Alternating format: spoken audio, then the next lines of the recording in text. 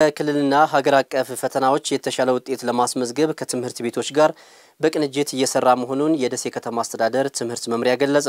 ከ10 ሺህ በላይ ተማሪዎች ክልላዊና ሀገር አቀፍ ፈተና ለመውሰድ መመዝገባቸውንም መምሪያው አስታውቋል።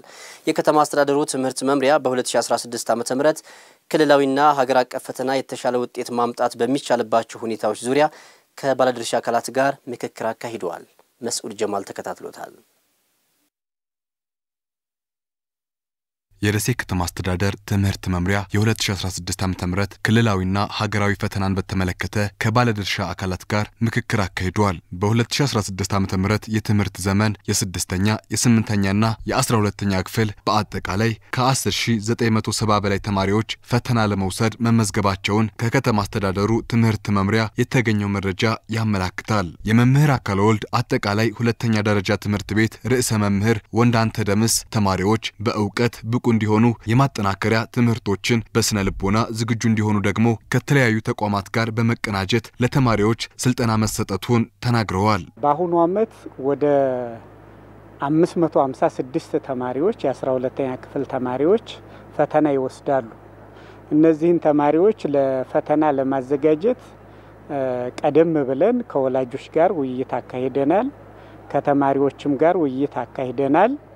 ተማሪዎች በስነ ልቦና ዝግጁ እንዲሆኑ ከወሎ ዩኒቨርሲቲ ጋር በመመካከር የተለያዩ የስነ ባለሙያ ዶክተሮች መጥተው ትምህርትና ስልጠና እንዲሰጧቸው ተደርጓል።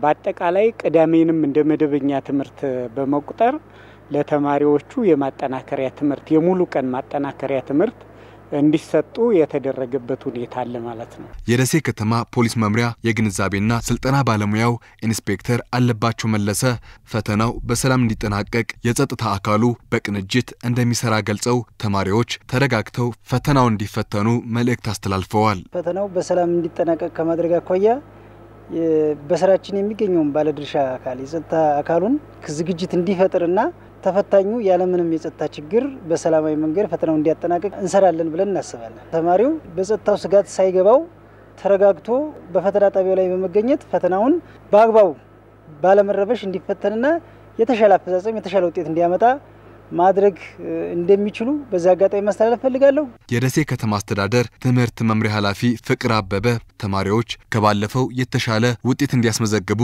ከትምህርት ቤቶች ጋር በቅንጅት መሰራቱን ገልጸዋል። ከስድስተኛ ክፍል ጀምሮ እስከ አስራ ሁለተኛ ክፍል ባለው ከአስር ሺህ በላይ ተማሪዎች ይፈተናሉ። አሁን ለፈተና ተመዝግበው ኦንላይን ተመዝግበው ሁሉም ዝግጁ ሆነዋል እና እኔ በዚህ አጋጣሚ ማስተላለፍ የምፈልገው ነገር በአሁኑ ዓመት እስከ ዛሬ ከነበረው በተለየ መንገድ ተማሪዎችን የማዘጋጀት ስራ ተሰርቷል። በሁሉም ትምህርት ቤት በሚባል ደረጃ ወጥነት ባለው መንገድ ተማሪዎችን የማብቃት ስራ ተሰርቷል። አቶ ፍቅር አክለውም የስድስተኛ ክፍል ክልል አቀፍ ፈተና ለመጀመሪያ ጊዜ እንደመሰጠቱ ተማሪዎች በቂ ግንዛቤ እንዲያገኙ ተደርጓልም ብለዋል። የስድስተኛ ክፍል ፈተና ለመጀመሪያ ጊዜ ነው የሚሰጠው። ለመጀመሪያ ጊዜ እንደመሰጠቱ መጠን ቀድመህ ተማሪዎችን ከማዘጋጀት አኳያ የተለያዩ ተግባራት ተከናውነዋል። ይህም ጋር ተያይዞ ተማሪዎች አንደኛ በስነ ልቦና የተሻለ ዝግጅት በቂ ዝግጅት እንዲኖራቸው ስራ ሰርተናል።